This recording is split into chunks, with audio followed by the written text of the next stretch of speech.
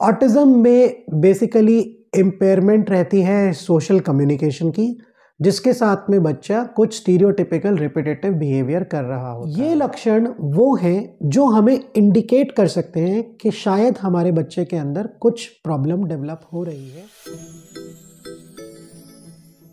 जय हिंद दोस्तों मैं डॉक्टर कमल अग्रवाल आपका स्वागत करता हूँ हमारे चैनल पे।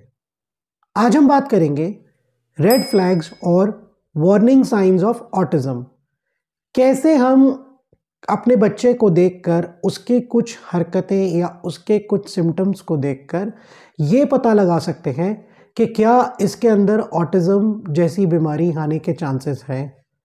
तो दोस्तों ऑटिज़म एक न्यूरो डेवलपमेंटल डिसऑर्डर है, जिसके ऊपर हमने काफ़ी वीडियोस बनाए हैं और आप हमारी प्लेलिस्ट के अंदर उन वीडियोस को जाके देख भी सकते हैं। ऑटिज़म में बेसिकली इम्पेयरमेंट रहती है सोशल कम्युनिकेशन की, जिसके साथ में बच्चा कुछ स्टीरियोटिपिकल रिपीटेटिव बिहेवियर कर रहा होता है। मतलब कि अगर हम ऐसे देखें तो बच्चा सोशली कम्युनिकेट नहीं करेगा, बातचीत नहीं करेगा, हो सकता है उसके पास वर्बल लैंग्वेज भी ना हो, वो बोलचाल की भाषा का इस्तेमाल भी शायद ना कर रहा हो, और इन सब के साथ में कोई एक एबनॉर्मल स्टीरियोटिपिकल बिहेवियर होगा, जिसको वो बार बार रिपीट कर रहा होगा। हो सकता है वो हेड नॉडिंग करे बॉडी को शेक करे, या किसी चीज़ को लेकर उसको अपने हैंड में हिलाता रहे। और हो सकता है वो वर्बल है तो किसी पोएम या किसी राइम को बार बार रिपीट करता रहे। कुछ साउंड्स निकाले जो एब नॉर्मल हैं या उस सिचुएशन में यूज़ ज़रूरत से ज़्यादा नहीं होने चाहिए। तो दोस्तों, आज हम बात करेंगे वार्निंग साइंस ऑफ़ ऑटिज़म के बारे में। सबसे पहला है, अगर बच्चा फिंगर पॉइंट करके दूसरी चीज़ों को नहीं दिखा रहा है। किसी चीज़ में इंटरेस्टेड है, लेकिन उस तरफ़ फिंगर को पॉइंट करके नहीं बता रहा है। इनकन्सिस्टेंट और reduced use of eye contact eye contact नहीं बना रहा है, या जितना ज़रूरत है, उतना ज़्यादा नहीं बना रहा है। स्पेशली नए लोगों के साथ में, या वो लोग जिन्हें वो जानता नहीं है। सोशल स्माइल नहीं है।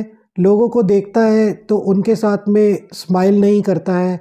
और अगर हम उससे बात करें, कुछ हंस के बात करें तो वो रिस्पॉन्ड नहीं कर रहा है। जेस्चर्स और फेशियल एक्सप्रेशंस जो दूसरे के हैं, उनको बच्चा रिस्पॉन्ड नहीं करता। अगर हम अपनी आँखों को बढ़ा करके बोलें फ्राउन करके दिखा रहे हैं, या स्माइल करते हैं तो उसको हो सकता है बच्चा सोशली रेसिप्रोकेट या स्माइल करके या उसको अंडरस्टैंड ना करे। More interest in looking at objects other than people's faces चीज़ में खिलौनों में या ऑब्जेक्ट्स में बच्चे का इंटरेस्ट ज़्यादा रहता है लोगों के मुकाबले। हम इंसान के अंदर फोकस कम करेगा, चीज़ों के अंदर उसका ध्यान ज़्यादा रह सकता है। May be content to spend extended periods of time alone अकेला बैठना उस बच्चे को बहुत ज़्यादा पसंद आ सकता है। ग्रुप में या और बच्चों के साथ में खेलना ज़्यादा पसंद नहीं है। पेरेंट्स की अटेंशन पाने के लिए कुछ खास नहीं करता है। Doesn't follow or look when someone is pointing at something doesn't bring a toy or other item to parent to show them मतलब अपने पेरेंट्स की अटेंशन के लिए चीज़ों को ला कर बच्चा दिखाता नहीं है। ना ही वो किसी डायरेक्शन में जब हम पॉइंट करते हैं तो उस तरफ़ उसको फॉलो करने की कोशिश करता है। अपने नेम को रिस्पॉन्ड बच्चे का उतना अच्छा नहीं है। नाम से बुलाने पर भी वो अब ध्यान नहीं देता है। Seems to be in his or an own world बच्चा अपनी ही दुनिया में खोया खोया सा रहता है। अगर उसके साथ में पेरेंट्स खेलने की कोशिश भी करें तो भी बच्चा बहुत ज़्यादा अच्छे से रिस्पॉन्ड नहीं करता है। दूसरे बच्चों के साथ खेलना या इंटरेक्ट करना बिल्कुल नहीं करता है। बच्चा डेढ़ से दो साल की उम्र में भी शब्दों का प्रयोग अपने बोलचाल में नहीं कर रहा है। दो साल के बच्चे दो शब्द जोड़कर बात करना शुरू करते हैं, लेकिन ऐसा वो नहीं कर पा रहा है। Any loss of previously acquired language or social skill कुछ बच्चों में ऐसा भी देखा जाता है कि वो पहले कुछ चीज़ें कर रहे थे, लेकिन आज उन्हें करना भूल चुके हैं। पहले बोलना शुरू कर चुके थे वेव करके बाय करते थे हेलो करते थे, वो आज बच्चा नहीं कर रहा है। Odd or repetitive way of moving or holding finger hands or whole body walking on toes किसी एबनॉर्मल मूवमेंट को कॉपी करना फिंगर्स को या अपने हाथ को हिलाना, जिसे हम स्टिमिंग बोलते हैं, पूरी बॉडी के साथ रॉकिंग करना, भागना टो पे चलना, इस तरह का कुछ बिहेवियर बच्चा शो कर रहा है। कुछ टेक्सचर्स को साउंड और लाइट को बहुत ज़्यादा स्ट्रॉन्ग रिएक्शन देना, यानी कि सेंसिटिविटी टुवर्ड्स सर्टन स्टिमुलाई जिसको हम सेंसरी डिसफंक्शन कहते हैं, ऐसा बच्चा शो कर रहा है। किसी कपड़े को बिल्कुल पहनना नहीं चाहेगा। आवाज़ थोड़ी हो तो बहुत ज़ोर से चिल्लाकर अपने कानों पे हाथ रख सकता है। लाइट्स को कॉन्स्टेंटली देखता रहेगा फ़ैन को देखना देख सकता है, या किसी चीज़ को लेके गोल गोल घुमाना शुरू कर दे। इस तरह की चीज़ों को बच्चा करता है। May appear indifferent to pain or temperature दर्द की तरफ़ बच्चे को बिल्कुल महसूस नहीं हो रहा है। हो सकता है बहुत ज़्यादा ज़ोर से लगने पर भी बच्चा बिल्कुल कोई मेजर रिएक्शन ना दे। टॉयज़ में इंटरेस्ट नहीं लेगा या फिर उन्हें एक अनयूजुअल तरीके से सीक्वेंस की फॉर्म में लगाकर यूज़ करना शुरू करेगा। जैसे कार को लेकर हो सकता है बच्चा उसको उल्टा करे और उसके व्हील्स को घुमाना शुरू कर दे।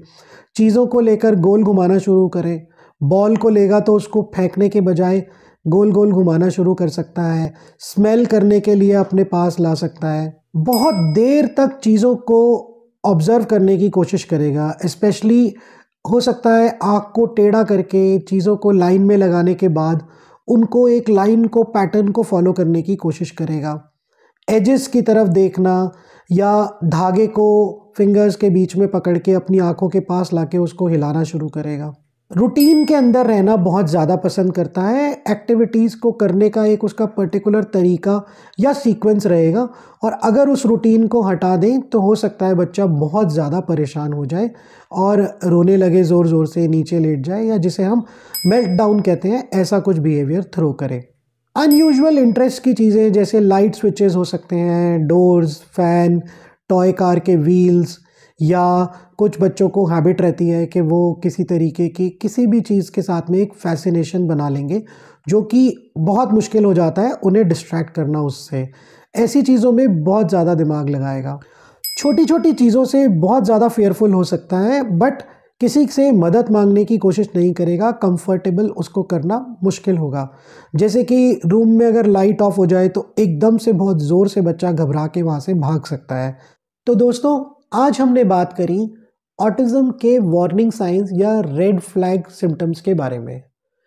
ये लक्षण वो हैं जो हमें इंडिकेट कर सकते हैं कि शायद हमारे बच्चे के अंदर कुछ प्रॉब्लम डेवलप हो रही है, जिसको लेकर हमें उसको एक डेवलपमेंटल पीडियाट्रिशन या चाइल्ड डेवलपमेंट एक्सपर्ट को दिखाने की ज़रूरत है, जो हमें ये बताए कि क्या ये दिक्कत ऑटिज़म की तरफ़ इशारा तो नहीं कर रही है। जितना जल्दी हम अपने बच्चे को इन प्रॉब्लम के साथ में ले जाकर दिखाएँगे, उतना जल्दी उसका एक इंटरवेंशन प्लान बनेगा और उतना बेहतर रिज़ल्ट हमें मिलेगा बच्चे के ट्रीटमेंट में। आज के वीडियो में इतना ही। आशा करते हैं आपको हमारा वीडियो पसंद आया होगा और आप इसको लाइक ज़रूर करेंगे। चैनल पर नए हैं तो चैनल को सब्सक्राइब कीजिए। अगली बार फिर किसी और जानकारी के साथ मिलेंगे। तब तक के लिए धन्यवाद।